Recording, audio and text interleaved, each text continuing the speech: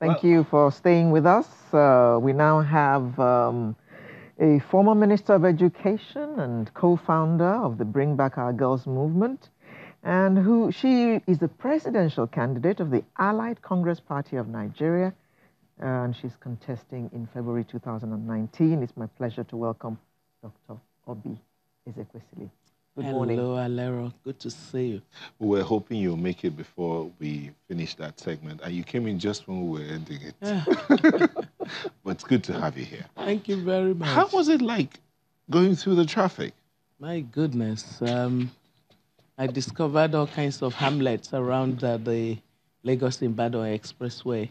Um, I was at the um, Congress, the Redeemed Christian Church of God Congress. Um, And um, the Holy Ghost service finished early hours of this morning. Just hardly went into the, uh, the uh, accommodation to get ourselves packed, and we set out for your program. That would be about four. That five around four thirty. And, and you're just getting. We here. just got here, and you know you're not far from the Redeemed Camp. Mm-hmm. Mm-hmm. Yeah. You're so not far from it. The when you went, you say you discovered some hamlets along yes. the road. Yes. When you went through those, what did you see? I saw poverty. I saw poverty. You know, on so two close, legs, as they say. So close to the economic. So I mean, just think of it this way, because you, we have to constantly connect the dots. This is the, the that this road is the economic artery of the country. So there are many things that are going together here. The poor state of the infrastructure, the poor management, eh, you know, traffic management system, uh, the challenges of um, uh, categorization of road users on this kind of a stretch of road, uh, the policy on um, the weight of, of, of, of, of, of usage mm-hmm. that happens on the road, the maintenance issues.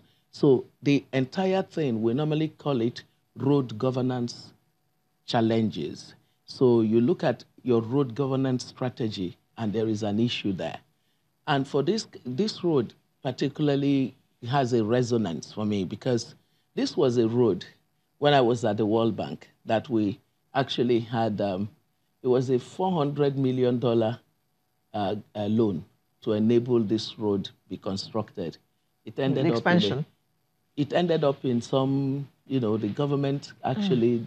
did not. We had to move that money uh, toward some of it towards supporting the Federal Road Safety Corps. That's how come you saw that change program that the Federal Road Safety Corps did.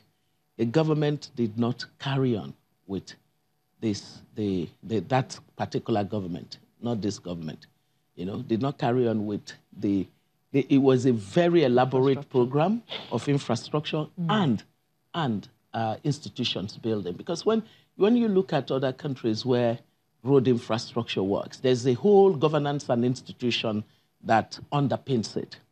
But one, one wonders, is when you talk about the roads thing, let, maybe we should begin from there. We used the Ministry of Works has a maintenance department. We have the Federal, Federal Roads Management Agency, which is supposed to be like the managers of the roads. But is it that they're not aware of their responsibility or nobody is looking down and say, okay, no, I think they are, or is it too their centralized? Part, their part is important. Their part is important. And frankly speaking, there's so much to be said of the failure of the road maintenance agency in, you know, I mean, like, what does it take to even ensure that the bush that grows around al along the, a highway that is the, this is the most economic road of the country, right? And so there has to be, it has to be said for us that somebody is actually paying attention to it steadily. steadily. But there is much more to, to the issue other than the maintenance. It's the fact that the infrastructure has all but collapsed. And, and I know that this particular administration is, you know, patching up certain segments of it, you know, but there has to be a complete rethink of the road strategy in our country. We can't, you know, I mean, like, when you look at the budget of the country, it, it's going to be impossible for us to to solve the problem, this major problem of roads, mm. just the, the, highways and then the, uh, the, all the trunk roads and, and then the, the rural feeder roads. Okay. Because look at what the Chinese say. The Chinese say if you want to get people out of poverty, give them roads. They understood it. The roads link your people to the market and improve their productivity and their competitiveness. Okay, Dr. Ezekwesili, the Constitution talks about road construction, leave it in the hands of the local government. Not all roads. Not all roads. I mean, hmm. the major roads that it's are. It's one of the things in our uh, in our um, what do you call this this concurrent list in okay. the in the constitution. Okay. So the constitution talks about that local governments build roads, build feeder roads, build um, markets, all the small economies mm -hmm. in mm-hmm. the localities, local government. But Nigeria is blessed with quite some land enough land to build roads. Mm. But then we also have waterways. Mm. And we also have enough land to build rail. -hmm. So you're vying for the office of the president. What's your plan as regards the transportation network? It has to be, you know, we have to think of it as logistics. That's the way, you, have to think of it as a system.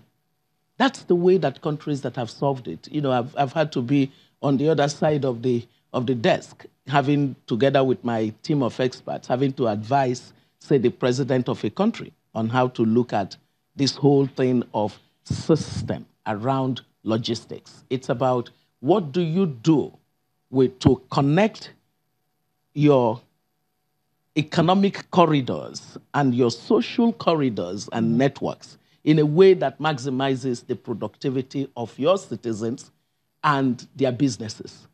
So, so when you think of it that way, then it means that you've got to have a comprehensive approach to it. So the what you said about the waterways, about the rail, about uh, aviation, about you know road roads. transportation, mm. and then the different categories of the roads. And you know you have to think of it from the perspective of what is the role that the government can play that would incentivize private sector engagement in this process, because roads you, you know, you look at it, uh, even in countries uh, like uh, India and uh, China that we look at, they, they understand that there is a private component to road construction, that the budget of the government alone cannot do it. It can't cut it. So they, they fix the, the, the policy framework for massive development of road. And then the, uh, the waterways and then the aviation sector. You know, we are part of our real challenge, part of what has crippled us, is that we have been so confused in terms of the roles of, you know, the, the very important philosophical understanding of how a complement of government, of business, and of the consumers and the citizens solve every economic problem that you have in society.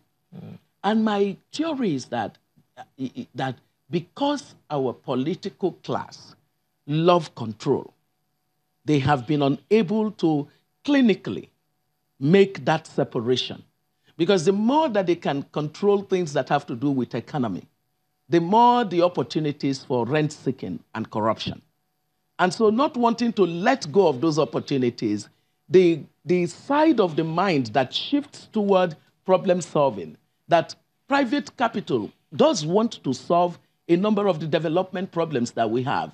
But no, let's not let them in, because if we let them in, then we have to let go of the powers that we wield mm. in those sectors. So you take something like the petroleum sector, and you know that the challenge we're dealing with is that, you know, every president wants to go and be not just the president of the country, but the president of NNPC and Ministry of uh, Petroleum. Mm. You know, so so so the sector suffers on the desk of politics, and that's why you know, for me, um, I think that we should be fed up with um, having the kind of political landscape where problems that could easily be solved are not being solved because the political incentive to solve them is too low. Okay. Now, um, let's look at the other aspects of your Rescue Nigeria manifesto. What are you offering Nigerians? Well, I think that the key thing that uh, distinguishes my offer to Nigerians is that I am the candidate who is saying that we, we need immediately to lift 80, at least 80 million of our citizens out of poverty. That's a large number. It is a large number, but